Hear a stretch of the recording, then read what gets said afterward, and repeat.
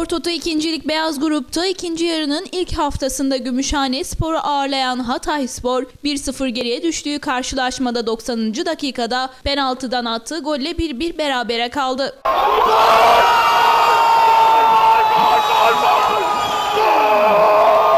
Hatay Atatürk Stadyumunda oynanan karşılaşmanın ilk yarısında Hatay Spor 26. dakikada Gümüşhane spor futbolcusu İzzet Akgül'ün aldığı kırmızı kart sonrası 10 kişi kalan rakibi karşısında etkili ataklar gerçekleştirse de ilk yarı golsüz berabere sonuçlandı.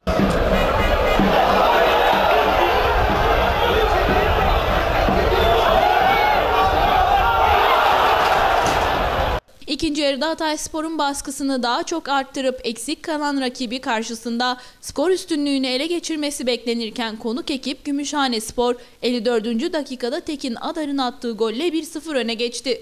Bu golden sonra şok yaşayan Hatay Spor futbolcuları agresif bir futbol sergilerken 56. dakikada Ömer Bozan'ın ikinci sarı karttan kırmızı kart almasıyla 10 kişi kaldı. Maçın bu skorla sonuçlanacağı beklenirken 90. dakikada kazandığı penaltıyı Gürhan Gürsoy'un ayağından gole çeviren Hatay Spor gitti denilen maçtan bir puan koparmayı bildi.